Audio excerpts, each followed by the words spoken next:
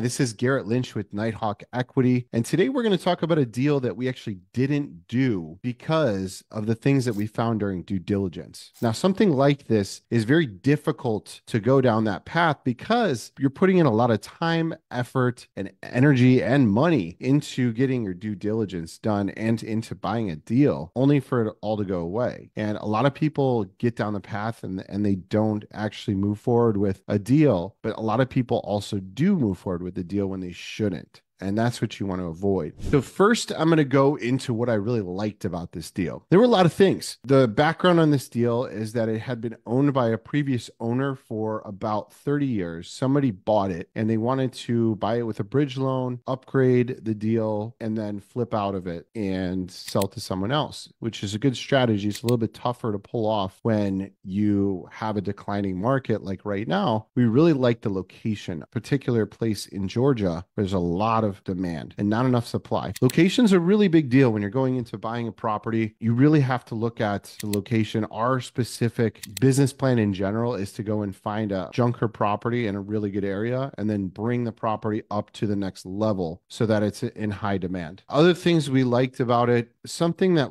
we had the tenant base on there that we really liked specifically. They were all paying on time for the most part. There was very little delinquency on site, which is always helpful. So it, it allowed us to size better on the loan. It looked like the property had been kept up and well maintained, and uh, the staffing situation had been figured out over there. So it'd be an easy transition to take it over if we were able to retain the staff. We had the choice to do due diligence on this site before we went under contract without any protections or after we went under contract with protections. We chose to do it without protections, meaning if the seller was misrepresenting the deal and we wanted to not do it, all the costs would fall on us for the due diligence. And due diligence does cost money. You have to get a team on site to go through every apartment to make sure that the deal is what the seller is saying it is. It can range anywhere from 5,000 all the way up to 15,000. Actually higher than that, 50,000, kind of the high. Ours was about 15,000. But it takes a lot of effort too. Like I had to fly all the way into Georgia. My team members coming from all over. We had about 20 people on site and we spent 2 days, 2 full days on site. For us to not do the deal, it's a very disciplined decision to make. So next what I'm going to do is get into some of the things that we found and why we ended up not doing the deal even though we liked all these things about it. The first issue that we found was something that we were already made aware of. We just had to, to cross check and confirm what was being told to us. There's a specific type of piping that if you find it in a property where you, it exists, in the past, we've just run away from the entire deal altogether, but it needs to be addressed. And that type of piping is called polybutylene. Polybutylene piping is something that runs in the walls, it's your hot and cold lines. And it was something that was used in the 80s through 2000s in different properties. And it was used by developers because it was thought to be a really up and coming and great type of material to use for plumbing. Well, what they found at a later date was that this actually wasn't the case and that these types of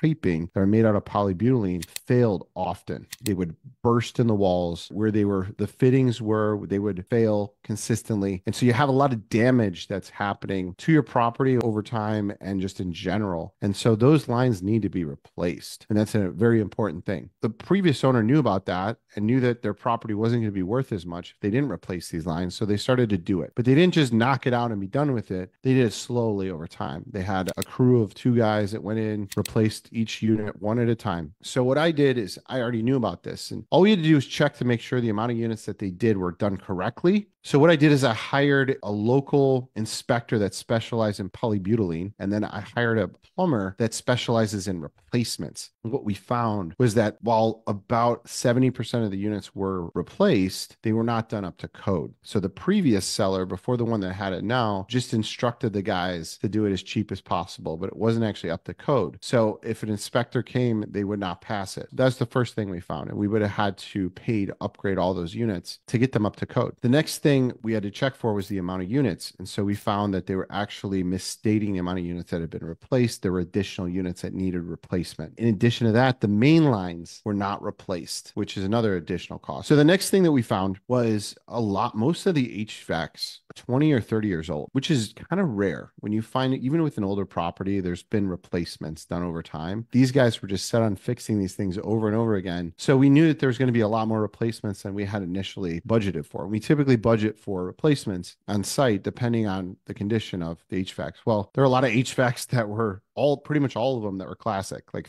some most 30 years old. And we didn't budget for that. So we had to add that into the budget and add it into a potential credit for the seller. The last thing on the deferred maintenance side was fire code issues. So we found a lot of things on site that weren't brought up to code properly. And every year, at least in this state, there is a code inspection, and most properties have this. You have to upgrade things to the latest fire code situation. And so we not only found that their upgrades weren't done, but there were additional issues with just the hydrants and things like that needed to be brought to code. This all costs money. But the final issue that we found, and this is a really good lesson, is we I asked my construction team to measure the units to make sure that the unit size was what they said that they were. So my team measured them three times to make sure, and we found out that every single unit was two to three hundred square feet off of what they were being told to us they were, and even what they were projecting them and, and selling them as to residents. So this is a big issue because if you add all of it up, it was somewhere in the neighborhood of 20,000 square feet missing from this, what they told us was going to be on the property. So then it's like, okay, well, what do we do? How do we reprice this? Every deal has what's called a floor. And so even if there's no people living in the asset, typically your valuations are done based on NOI, so your net operating income. Well, if there's zero people in there, there's no net operating income, but that doesn't mean you pay zero for the property. It means that there's a floor. So it's still worth something, right? So so then what we did is looked at the main issue, which is what's the real issue if you find less square footage? Why does it matter? You just can't command as higher rents. And so if you have an oversized unit and you think you can get top of market rents, now you can't. Now you're right in the mix with everyone else. You can make it nicer. You can still get the decent rents, but it's not going to be the high, as high as we had thought. So we repriced it based on what we thought the updated rents would be based on other rents in the market were sitting. That shaved about 600,000 off the purchase price. This is a decent amount. Somebody owned this for 30 years, some guy bought it from didn't catch this, then we caught it because we were crossing our T's, dotting our I's, and everything related to